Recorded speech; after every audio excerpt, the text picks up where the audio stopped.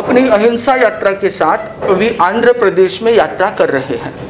आचार्य श्री महाश्रमण जी ने सद्भावना, नैतिकता और नशा मुक्ति इस तीन मिशन के साथ में पंद्रह हज़ार किलोमीटर की इस पदयात्रा की शुरुआत सन 2014 को नवंबर में नई दिल्ली के लाल किले से की थी और इस यात्रा के दौरान हिंदुस्तान, नेपाल, भूटान और हिंदुस्तान के 19 राज्यों को कवर किया जा रहा है।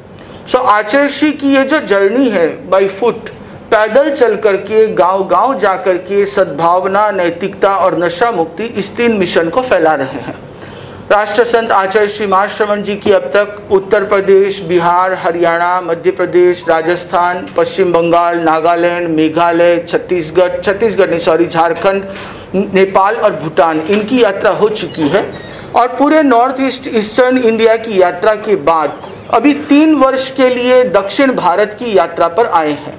तो एक साल पूरा आंध्र प्रदेश में भी तीन महीने का प्रवास रहेगा उसके बाद तमिलनाडु फिर कर्नाटक केरल पांडिचेरी और उसके बाद फिर तेलंगाना। तो इस तरीके से ये तीन वर्ष की यात्रा का क्रम बनाया गया है दक्षिण भारत की यात्रा के लिए। राष्ट्र संत आचार्य श्री महाश्रवण जी अब तक टोटल बयालीस हज़ार किलोमीटर 42,000 किलोमीटर पैदल चल चुके हैं। और यह यात्रा का क्रम अनवरत जारी है।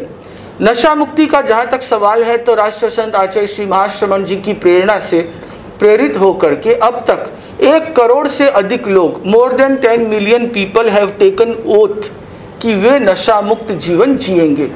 तो इसी प्रकार से एक देश के भीतर में एक माहौल को अच्छा बनाने के लिए कि जिससे समाज स्वस्थ हो सके, राष्ट्र स्वस्थ हो सके, इस मिशन को लेकर के राष्ट्र संत आचार्य श्री महाश्रमण जी अपनी पदयात्रा कर रहे हैं।